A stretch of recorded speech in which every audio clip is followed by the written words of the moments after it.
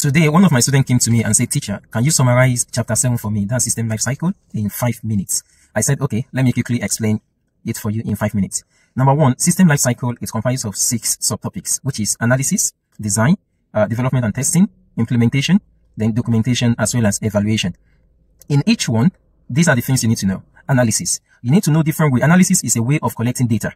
So about the existing system and to know exactly what we need to do in the new system. So if you want to collect data about the existing system, then you can use interview, you can use questionnaire, you can use observation, and you can use looking at existing system or looking at existing paper, reading from existing document. These are the four things you need to know as far as analysis is concerned. Now, Cambridge might ask you a couple of questions here. What are the benefits of using interview instead of questionnaire? What are the advantages and drawbacks of using observation instead of reading from existing document? So in your textbook, you can actually study this. No more, no less. That's all what you need to know as far as analysis. Let's move to design. In design, all what you need to know here are what are the things we normally do in design. And one of them is form, form design, then validation design, then validation routine and the likes.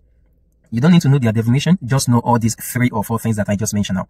Now, then in developing and testing, the first thing you need to know here is number one, uh, what are the ways we normally use to test a system? One, uh, uh, systems are developed in modules, which means part by part. So when you finish developing any system, you need to test it in module, module by module. If the module works correctly, then you can join all the systems together, all the modules together. Then you, te you test them again. If they work correctly, then it means the system actually uh, works fine. But if they don't work correctly, then definitely you need to um, reprogram the module and you combine them again and you test again. That's how. No more, no less. Now, what about the, uh, for the testing, you need to know about uh, what we call normal, abnormal, then extreme as, as well as live data. Now, for the normal. So normal data, these are the data within the boundary. The data within the boundary. Let's say in my, in my class of grade 8, I'm teaching this, uh, grade 9, I'm teaching the student, the youngest student is 13, the oldest student is 16. So the normal data is anything between 13 to 16 maybe 13, 14, 15, 16, all those ones, they are normal data. Now, what about abnormal data? Abnormal data are the data outside the, um, you know, so uh, they are the data outside acceptable limits, outside the boundary. For example, any student, uh, any 12 is abnormal data. 17, 18, 19, they are abnormal data. Because in my class, the age of the students is within 13 to 16. Anything that is not within 13 to 16 is abnormal. Alright. Then for extreme, extreme is the data at the limit of acceptability, at the limit of acceptability, at the boundary of acceptability. Example here, that's the lowest and the highest. The, the lowest number here is what? Is 13, while the highest number is 16. So the extreme data here are 16, are 13 and 16.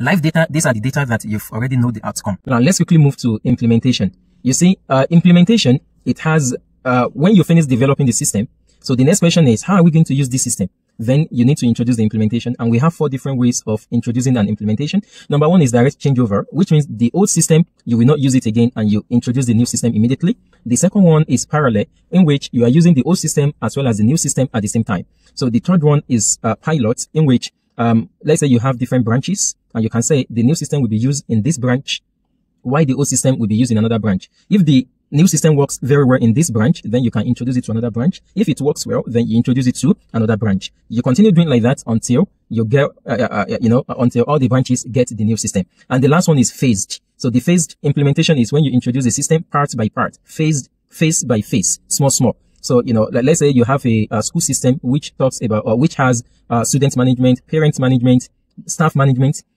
in this system, you can introduce parent management first. Let's see. If it works well, then you will introduce student management as well. If it works well, then it means you are introducing the whole, the new system part by part. So you say these are the four things you need to know as far as implementation is concerned. Number one, uh, direct changeover implementation. Number two, parallel implementation. Number three, pilot implementation. And number four is phased implementation. Now, Cambridge will surely ask you what are the differences between them. What's the benefit of using direct changeover instead of parallel?